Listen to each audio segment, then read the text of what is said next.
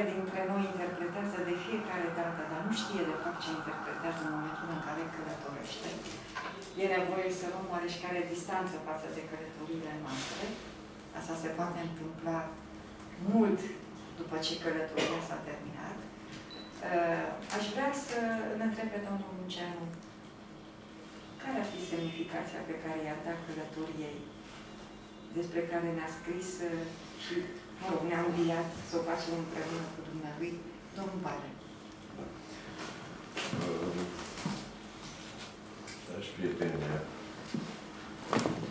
dacă nu greșesc, asta e 15 septembrie. Și să știți ce s-a întâmplat 15 septembrie 1830? A fost prima călătorie cu trenul. pe ruta Liverpool-Manchester. Cine credeți că a beneficiat? Au fost puțini. Bătaie mare.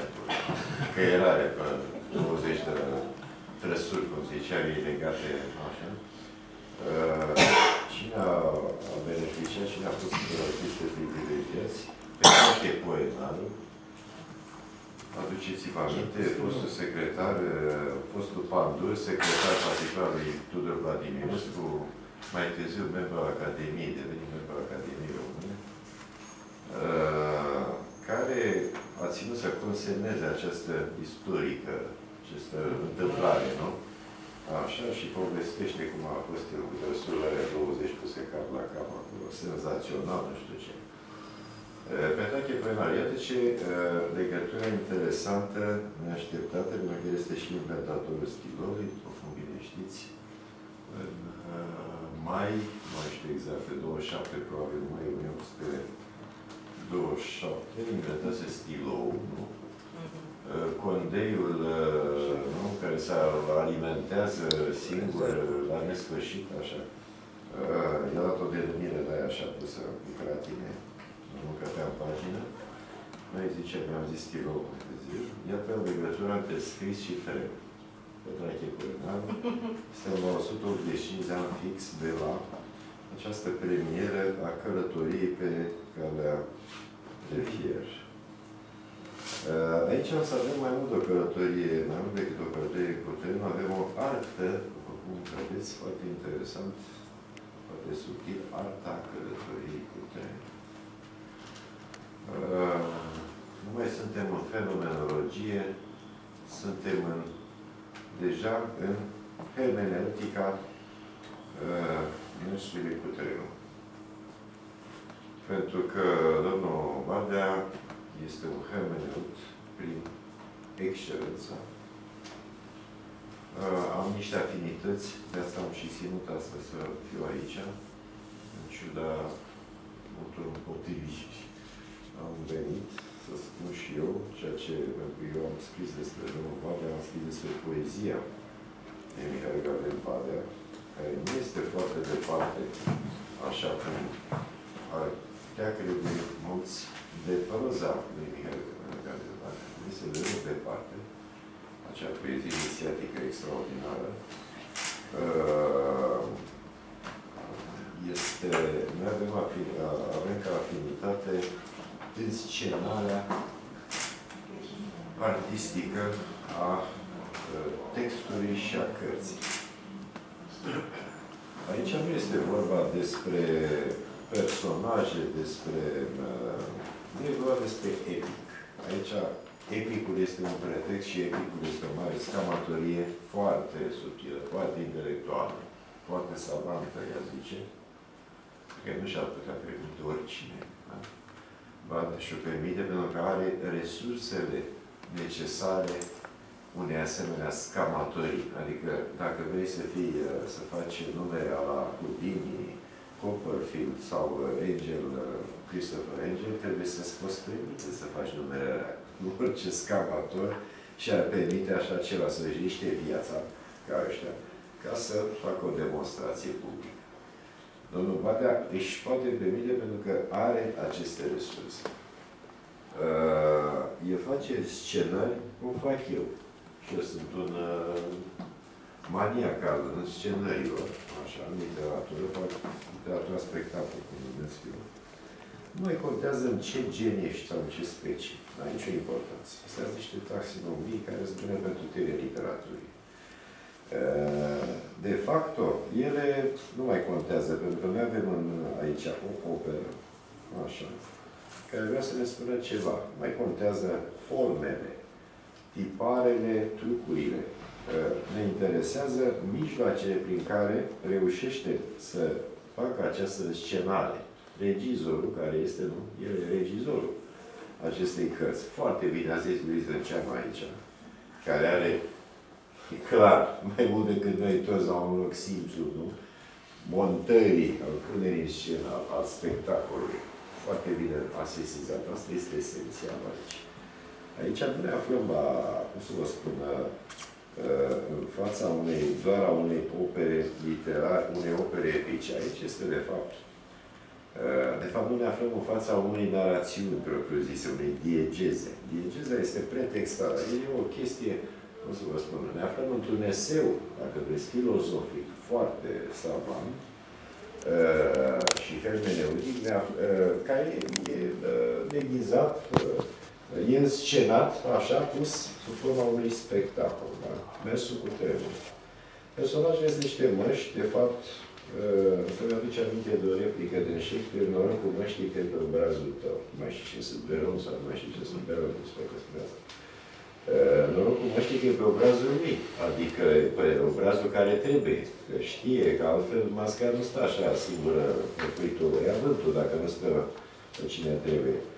Uh, pentru că știe să umple cu aceste măști, personajele astea care sunt bine, cum bine a zis, sunt, uh, ne, nu sunt nominale, sunt niște, nu sunt niște identități, sunt niște, uh, cum să vă spun, uh, antonomaze, dacă vreți, sau niște chestii foarte volatile, așa, așa și cum trebuie să fie. Uh, prin determinările lor, doamna cu tare, domnul cu nu știu ce, doamna cu coc, dacă Dana Cococ, tu ești Dana Cococ, chiar dacă nu se pare că are, dar să știi că ai un coc acolo, invizibil, numai pentru cine crede, așa.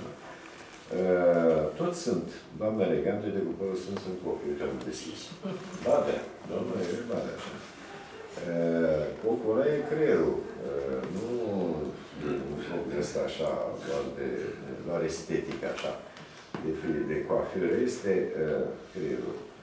Uh, pentru că aici avem vocea autorială care se multiplică sub diverse, uh, cum să vă spun, în diverse registre și uh, cu diverse timbre și uh, uh, cu aplicații foarte uh, diverse, ca și cum, uh, vedeți, le-ar ar stârni uh, nu controverse, că nu ne aflăm în fața unor uh, ideologii aici controversate sau Uh, mai multă maiotică, mai mult uh, socratism aici în, în conversație, dar provoacă, toate le provoacă pe celelalte. Ca un efect de biliard. Aici arunc, trimiți o bilă și aia lovește alte bile și bine la rândul lor și așa mai departe. Cu efecte stocastice, imprevizibile.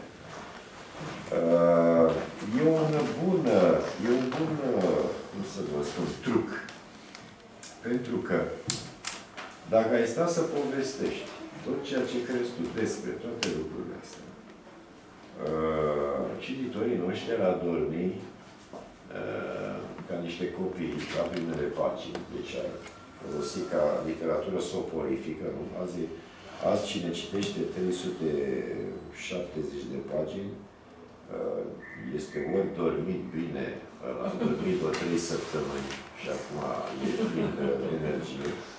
Ori din potrivă are probleme grave, un insomniac de ăsta iremediabil și atunci ăla tot încearcă, știi, și tot caută ceva, să adormă și el, dar nu reușește. În orice caz, la Badea nu va reuși, vă spun eu. Pentru că Badea e atât de provocator și, cum să vă spun, de uh, imprevizibil, încât uh, nu te poate lăsa să te culci, adică să cobori din tren, ca să spunem așa. Nu te, nu te lasă la haltă. Și cum e Badea, avea un italian, îmi pare rău că nu pot să rețin pe toți, are un novelist foarte bun, era acum, prin anii 60, 70, 60. Avea o novelă extraordinar, o novelă fantastică. E vorba de Buțati? Nu Buțati. Nu, Buțati e... Oltenberg? Nu. Uh, era un pic mai obscur, avea un novelă, în noapte un tren care gonește. Și eroul uh, povestirii, uh, uh, la un moment dat, se sizează că lumea, uh, în primul rând, uh, nu mai oprește trenul pe nicăieri. Și cu ăștia de așa. Și văzând că nu mai oprește trenul pe nicăieri, a început să arunce din tren. Adică, domnule, trenul ăsta, dacă nu mai oprește, e un simptom uh, neplăcut, nu? Anunță lucruri uh, îngrijorătoare, nu? Mai bine aruncăm din el decât să... Hmm? Se aruncă, da, se aruncă așa. Și tot uh, trenul începe să se golească și ăsta rămâne și nu știe ce să facă, e în dilemă, da? Dacă el va rămâne ultimul acolo, ce se va întâmpla cu trenul ăsta? Va afla ceva îngrozitor? Ce destinație are trenul ăla? Pentru că toată lumea pleacă din tren. La Badea nu te arunci din tren, că n-ai unde să te arunci din tren. Uh, trenul ăsta, cum vă spuneam, este un pretext, este un mare teatru, e un mare teatru aici. Uh, e un vehicul, vedeți, al intelectului, un vehicul de transport al gândirii uh, către alte lucruri îndepărtate, care ar trebui, de fapt, să ne apropie de noi înșine, nu să ne îndepărteze de noi. Vedeți? Adică plecările astea, noi suntem obișnuiți să ne îndepărteze de noi. Plecăm noi și murim un pic, nu? Sau pleacă cineva și așa. Uh, dar când faci o călătorie de asta, intelectul uh, ar fi de așteptat ca tu să te găsești mai degrabă, nu? La capătul călătoriei sau pe drum, să te apropii de tine cumva, altfel n-ai pleca. Uh, aici sunt resurse imense, uh, cheltuieli enorme de, cum să vă spun, de judecăți, nu apodictice neapărat, are și de genul ăsta câteva judecăți. Chiar are niște maxime pe aici am găsit, are, cum să vă spun, uh, stilul ăsta gnomic. Așa, din când în când, uite, viața unei națiuni, ca și aici un individ, nu e decât un compromis dificil pentru a menține echilibru între forme ale morții. Vă dau un singur exemplu. Are și asemenea uh, tablou, cum să spune, rămâni. Așa numeau judecăți de valoare, dar uh, nu asta este intenția aici aforistică. Aici este uh, căutarea, uh, să vă spun, uh, prospecția. Asta este Așa, de-aia e căutarea călătoriei spre centrul Pământului. Spre centrul Pământului. Uh, este, nu avem, aici este spre centrul Pământului, avem un centru, avem un topos, o singularitate, nu aiurea, un spațiu cosmic. Uh, nu e o rătăcire, este un punct, cum să vă spun, o singularitate către care te îndrepți. Uh, și aia, bineînțeles, un pretext. Sunt pe diverse, vari, aici avem vari domenii. Nu asta contează. Metoda contează. Deci nu ne interesează aici uh, cum încadrăm, cum clasificăm cartea, unde ajungem. Nu, metoda contează. Metoda uh, Mihail Gabriel Badea, asta cu trenul, care mie îmi place foarte mult, să știți că este foarte eficientă, după părerea mea, uh, a folosit ca vehicul, deci a folosit metafora asta a transportului. Mie mi se pare un lucru foarte inteligent, foarte subtil și foarte eficace. Uh, Badea reușește să facă, de fapt, mai multe cărți aici odată. Fie că vrea, fie că nu vrea. Face mai multe cărți. Face și un eseu. Face și o aventură intelectuală. Face și o uh, provocare, dacă vreți, pentru că uh, e un spectacol aici, este o scenare, cum spunem. Uh, te joci un joc al lui. Este un joc foarte uh, subtil. Uh, uite, politicul, de când lumea și pământul, se știe că politicul cine artistic. Uite, eu nu mai trebuie mai departe, eu tai aici și vin cu asta și o pun undeva și o pun așa, la intrare aici în stradă. Nu ar trebui să medităm la chestiile astea. Astea sunt niște judecăți. Uh, fără pretenții neapărat a politicii, dar vă spun, uh, extraordinar de importante, cu un impact politicul ucide artistic. Astea sunt. Uh, le-au mai făcut și alții, dar tot nu s-au auzit destul. E bine să fie pus acolo în stradă, așa. un panou, să se vadă, dar aș pune mare, așa, nu cu reclamele alea, că blocul de la metro, nu știu cine o să uite nimeni la ele. Dom'le, să vadă acolo ceva să-ți atragă atenția, să pună problemă. Cum e dom'le chestia cu politicul de atenție? Să îi promovări. Nu o să răspundă la întrebarea, dar e suficient dacă și-o pun întrebarea. Nu trebuie răspunsul, de ajuns întrebare. Astea sunt niște chestii fundamentale importante aici. Nu este o simplă jucărie, hai să ne jucăm, facem un joc intelectual, un joc de societate, nu? Să mai umplem 370 de pagini. Păi nu, domnule, că putem să ne umplem ca ăla. Când am făcut eseu despre nimic, am făcut 370 de pagini, pagini alte. Nu? Și l-a dat în judecată altă, s-a trezit dat în judecată pe copyright. Că mai făcuse unul o carte de aia și l-a dat în judecată pentru place. E culmea. Și el a câștigat procesul. Câștigat procesul. Dați seama, este o extraordinar la ce s-a ajuns. Deci el a făcut o carte complet doar albă și el a dat judecată că l-a plagiat. Și a câștigat procesul. Deci judecător. Deci aici, uh, nu noutatea în sine vrea să ne arate bani ceva nou, extraordinar. Nu asta este problema, noutatea proiectului. Batea este el însuși aici. Nu vine să se falsifice ca să se joace, să se dea drept altul. Este același din poezie, același Badea. Cine citește poezia lui Badea, uh, măgelele uh, de rouă, Cosmosul, nu? Toată poezia care este o poezie, cum să vă spun, și aia este scenă. Și acolo găsiți niște chestii foarte select, înscenate, dar înscenate așa bine, adică... Are chiar o poezie care se numește Masca. Masca, deci, uh, cum să vă spun, e la același nivel, el este același. Nu contează că face aici proză și acolo făcea poezie. Asta e mai puțin important. Poți să facă și muzică, dacă... Nu asta este problema. Problema e ce are de spus aici, uh, eu vreau să vă spun un lucru. La, mi-aduc aminte cu repartițiile alea nenorocite de când cu legarea de bie, era o lege până 81 cu legarea de biele care ne-a băgat în sperie pe toți. Era toată lumea era îngrozită de coșmarul ăsta cu buletinul, să-și face buletinul obligatoriu, după ce te-a trimis la fost cu repartiție guvernamentală, așa.